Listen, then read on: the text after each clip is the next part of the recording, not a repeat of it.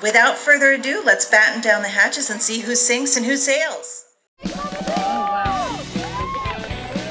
The boat race is our biggest fundraiser, our only fundraising event of the year. People make cardboard boats uh, using duct tape and cardboard and no other materials.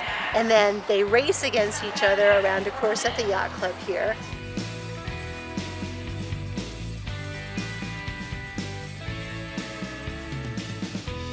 We're affiliated with Bell's Auto. We're uh, sailing the Millennium Falcon today.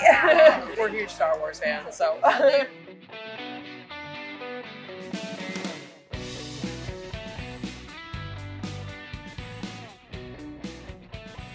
We love being out in the community. Definitely the free food was uh, a nice plus, but it, it was delicious. It's just a beautiful day out here today.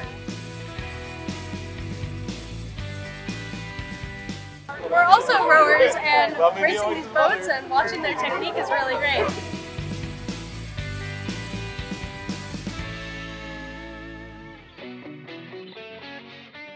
This is our sixth annual one. It is a fundraiser for Family and Children's Service of Ithaca. So Family and Children's provides mental health care services to folks who might not otherwise be able to access them in the community.